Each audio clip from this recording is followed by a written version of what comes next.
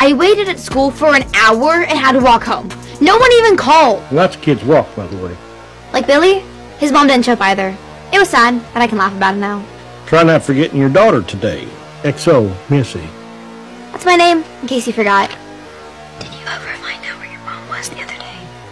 She was at the hospital for your brother's baby. What?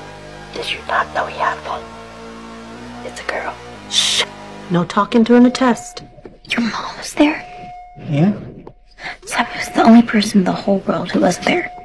Keep your eyes on your own papers. I'm not cheating. Well, that's not what it looks like.